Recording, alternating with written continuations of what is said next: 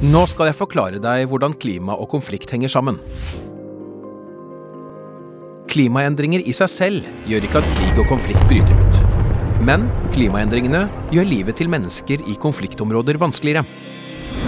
Mer ekstremvær som flom og tørke gjør det vanskeligere å dyrke nok mat og finne vann til alle. Eksisterende konflikter blir vanskeligere å løse når mennesker i et område også mangler mat, vann og naturressurser. Resultatet blir større kamp mellom grupper om naturressurser, jobber og politisk makt.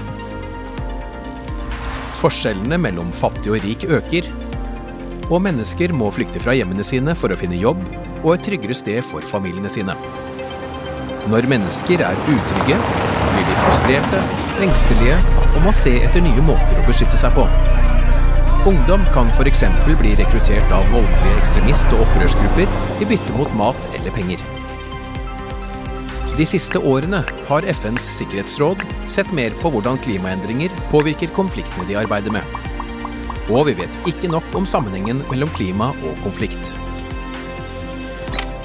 Når Norge sitter i Sikkerhetsrådet 2021 til 2022, jobber de for å løfte frem at klima er viktig. Sikkerhetsrådet har en egen ekspertgruppe som jobber med klima og konflikt, og Norge leder denne gruppen. Norge inviterer eksperter og mennesker som bor og jobber i konfliktområder, til å fortelle Sikkerhetsrådet hvordan klimaendringene påvirker livene til menneskene der. Norge jobber også for at klimaendringer skal være nevnt i teksten når Sikkerhetsrådet vedtar resolusjoner.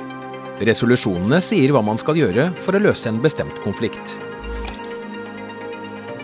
De 15 medlemslandene i Sikkerhetsrådet er uenige om hvor stor rolle klimaendringen spiller for krig og konflikt. Men flere av landene mener klima og sikkerhet henger sammen. Sikkerhetsrådet vil sannsynligvis snakke mer om denne sammenhengen når de diskuterer konflikter i 2021 og 2022.